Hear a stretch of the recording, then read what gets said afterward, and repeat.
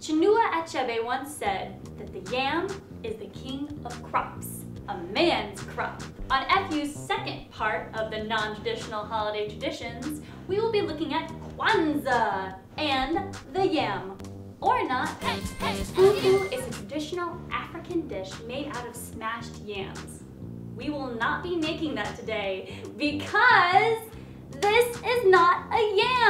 That's right, the supermarkets have been lying to you. Lying.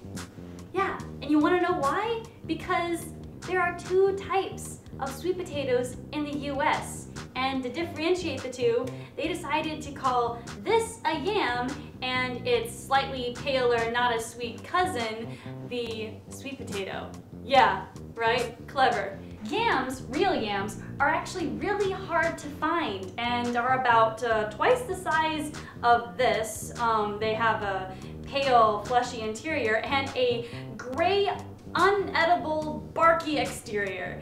So yeah, they're really, really hard to find. And because of that, we will not be making fufu. We will be making sweet potato soup with ginger and sage for Kwanzaa. So let's make it. For the soup, cut two large sweet potatoes into cubes and place them in a large soup pot. Add two large knobs of peeled ginger and two cloves of garlic. Cover the veggies with water and cook on high until the potatoes are fork tender. So I'm cooking this on a hot plate right now, which means it's completely dorm safe and you don't have an excuse. So ergo, you have to make this. Funny how that works, right? Chuck the veggies into a blender or a food processor and blend them until smooth, adding liquid if needed.